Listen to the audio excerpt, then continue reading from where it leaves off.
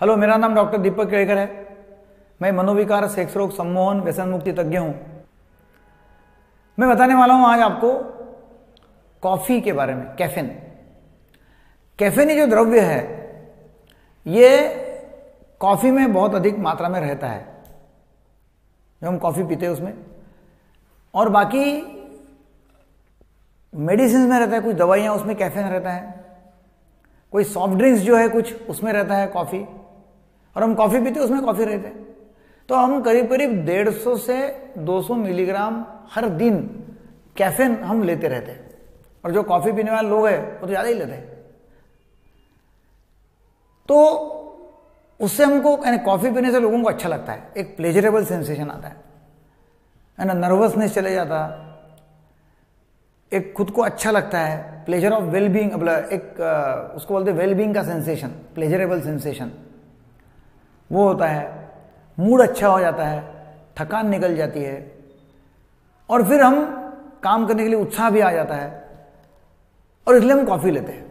Coffee से brain में dopamine नाम का जो द्रव्य है, उसको वो ज़्यादा प्रमाण में तैयार हो जाता है।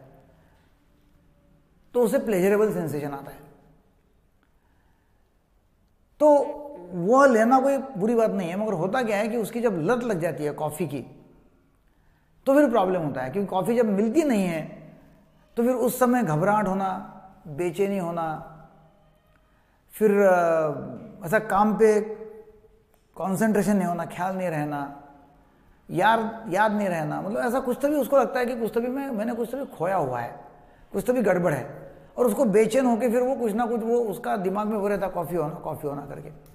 तो ऐसी कॉफ़ी की लत रहती है। कॉफ़ी का ज़्यादा इस्तेमाल करना कभी कभी होता है, उससे कॉफ़ी, कैफीन इंटॉक्सिकेशन उसको बोलते हैं। कॉफ़ी से इंटॉक्सिकेट होना। और उसमें क्या होता है कि उसमें बहुत ज़्यादा कॉफ़ी पी लिया मतलब 800 से हज़ार मिलीग्राम एक दिन में कॉफ़ी ले लिया तो उससे बहुत ज़्यादा इंटॉक्सिकेशन होके चिड़चिड़ापन, फिर गुस्सा करना एक्साइटमेंट हो जाना एक्साइटेड हो जाना, आक्रामक हो जाना, लोगों के ऊपर गुस्सा करना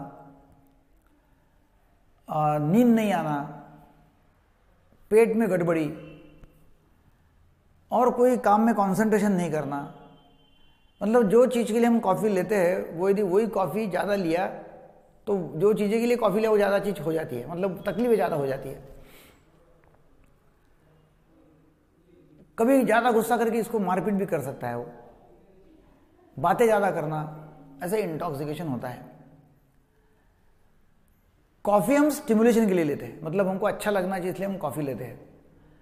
मगर कॉफ़ी की लत लगना वो एक प्रॉब्लम है कि जिसकी वजह से हम काम नहीं कर सकते। और ज़्यादा कॉफ़ी ले लिया तो उसका इंटॉक्सिकेशन होना वो भी एक प्रॉब्लम है। अच्छा ये है कि कॉफ़ी लेंगे नहीं तो बहुत अच्छा है। मगर हम क्या करते हैं कि कहीं बैठे, चलो कॉफ़ी लेंगे कॉफ़ी लेंगे करके कॉफ़ी पीते हैं। तो एक सोशल ड्रिंक करके वो है। कहीं गए तो नहीं, कॉफ़ी लो करके बोल दे। तो कॉफ़ी लेते हैं लोग।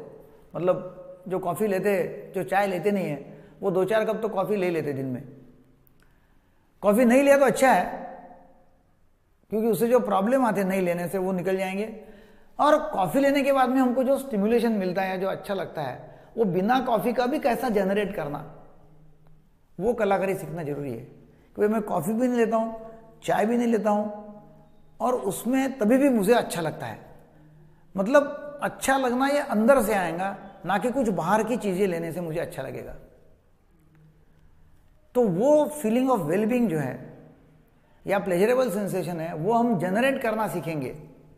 रिलैक्स होना और प्लेजरेबल फीलिंग जनरेट करना, खुशी जनरेट करना एक्साइटमेंट जनरेट करना, वो अंदरून करते हैं तो बहुत बेहतरीन ज़िंदगी हम जिएँगे, बजाय कोई ड्रिंक के ऊपर डिपेंड हो जाना और ड्रिंक लेना।